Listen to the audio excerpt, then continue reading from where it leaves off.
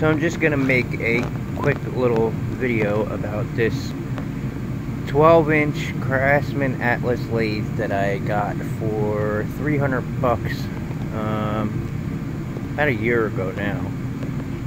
Uh, I just wanted to show some of the little modifications I did that made this thing perform really well.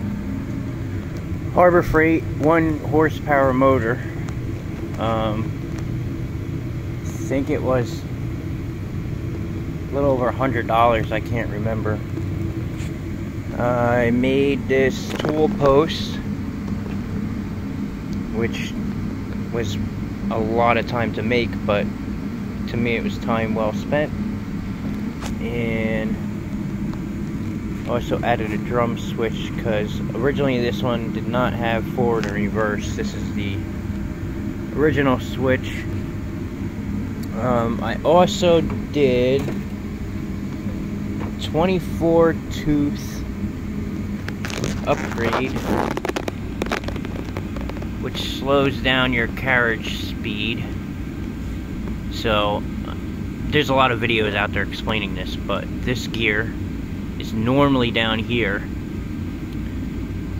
So this slide gear is normally down here and inside here a 24 tooth uh, gear that I got off of eBay for I think it was $25 um, when you do that all that does is it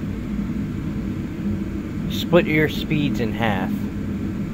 So instead of 0.42 thou per revolution, you're getting instead of four thousandths per revolution, you're getting two thousandths per revolution. So the carriage moves a lot slower, which gives you a lot better surface finish. Um, let me see. Like this.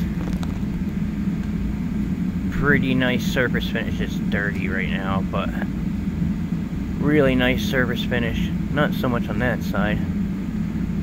But that side, I don't think I finished this side yet. I think I was just rough cutting this. This is for a milling attachment that I'm making if I ever get around to doing it.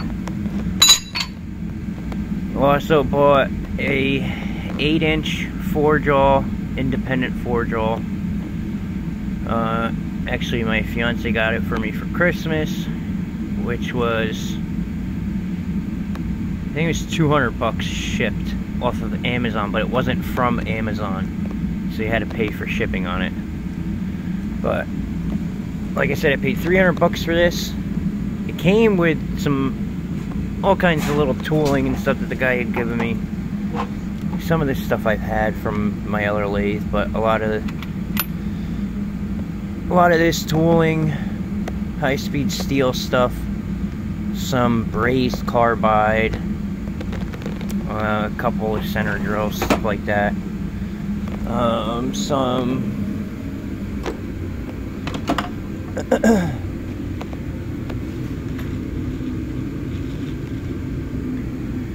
I got some Brown and Sharpe. I think these are. They're not in the best condition. But this one, this one, and this one, the guy threw in with it.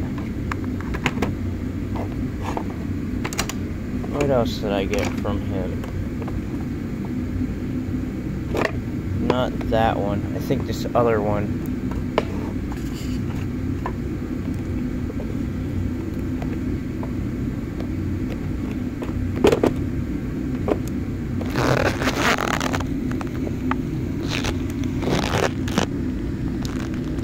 It's not that one. I know there's another one somewhere else that he gave me with it.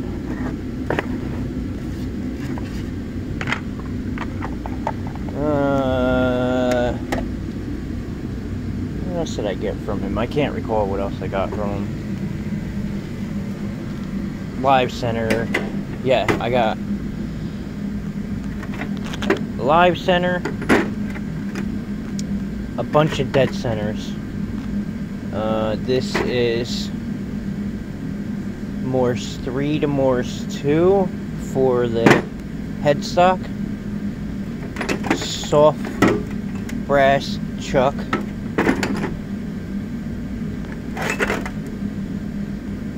This chuck, this other chuck I had, this I had,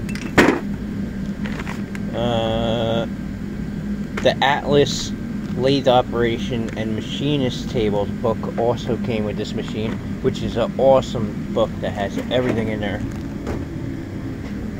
And just to put the information out there at least how my machine is set up that 8 inch chuck runs pretty damn good on this 12 inch lathe. It's I thought it was going to be too big because it's pretty heavy I think it's like 40 something pounds, that thing. Um, I might be wrong about that. But it runs pretty good on there. And that's about it. I mean, for the most part, it's in decent shape. There's a little bit of wear in there. I have new felts that I'm getting ready to change right now and cleaning it up because it hasn't been cleaned up in quite a while but there's not too much wear in it.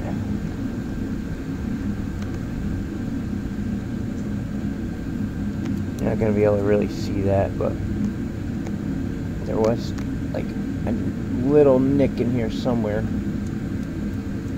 don't know where it is. But for the most part, it's in really good shape. A couple little nicks in here. This, I don't know what that's from. Barely feel it whatever it is, but nothing rides on there anyway. Well, that's about it. Thanks for watching.